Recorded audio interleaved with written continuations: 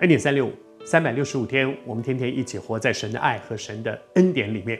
昨天和你分享到说，施洗约翰，神对他生命有一个很荣耀的计划。其实不只是施洗约翰，神在我们每一个人身上都有一个荣耀的计划。我们是他手中的工作，在基督耶稣里面造成的。为要叫我们行善，就是他预备要我们做的事。每一个人生命里面都有一个他预备要我做的事，他预备要我做什么样的事，他预备要你做什么样的事。而但是，如果你渴望在神的手中成为合用的器皿，能够盛装神荣耀的恩典，完成神对你生命的托付，神也在问我说：那你愿不愿意付一些什么样的代价？那个不是一个律法的规定，而是我里面的一个回应神的心。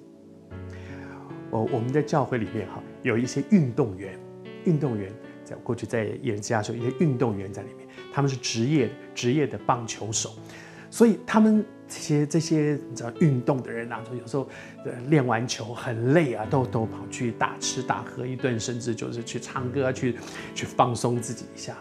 但是有一一刻有一个时间，他们绝对不会去做这样的事，不晚。早早的，平常都要教练去说好啦，睡觉了，好啦，不要不今天晚上不准跑出去玩。那一天晚上没有人会跑出去，为什么？因为第二天要冠亚军赛。哇，我们努力了这么久，就是为了这个时刻。明天要冠亚军赛了，我们现在还敢出去放肆，还敢去玩、去喝酒、去唱？不会，你不需要人盯。为什么？因为明天是一个多么关键的时刻。为了那个，他成为一个棒球直棒的这个这个国手选手，不就是为着那个时刻吗？那个时候，大家都愿意放弃啊！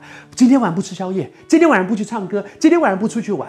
为什么？因为看到一个重要的事情在前面。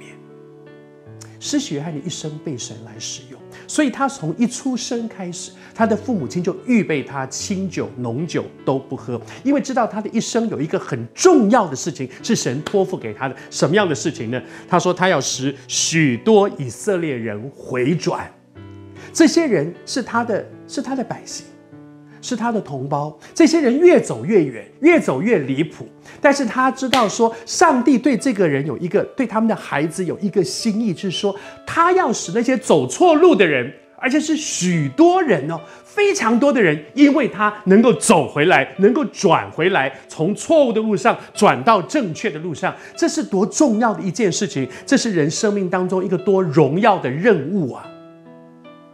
因为他知道神对他生命里有一个荣耀的任务，一个神预备要他做的事，所以他愿意放下一些。原本他自以为我应该享受的权利，我应该享受的这些，我愿意放下这些。像那个球员，愿意今天晚上不吃宵夜，今天晚上不出去玩，今天晚上不跟女朋友约会，今天晚上不，是因为知道明天有重要的事。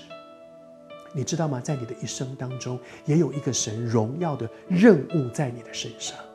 你愿不愿意预备自己，有所舍，预备自己成为贵重的器皿？愿上帝在你身上的旨意，那个任务，我们都能够顺利的。